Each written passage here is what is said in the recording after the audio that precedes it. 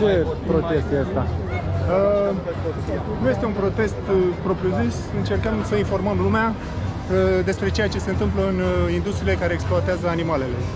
Adică industria cărnii, laptelui, ouă, entertainment, uh, Blenuri și tot îmbrăcăminte. așa, circ, da. Da, da, da, tot felul de industrie.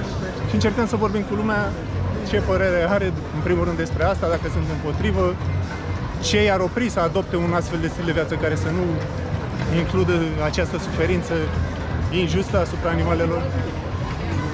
Și apoi Reacțiile până acum? uh, reacțiile sunt împărțite, unii oameni au fost deschiși și unii mai puțin. Depinde acum de fiecare. Noi încercăm să le aducem toate argumentele, toate E legat cumva de ziua câinelor de azi sau e în Uh, fiecare nu, zi? Nu, nu, nu. Pro- uh, Acest, uh, acest eveniment îl facem în fiecare săptămână, de obicei sâmbătă. Mm. Da, și Și încercăm să- sunteți un grup organizat, așa vă numiți, Anonymous for Uh, Este o organizație Voiceless? internațională, Aha. da? Se, aceste evenimente se desfășoară în mai multe țări, Mhm. deci simultan.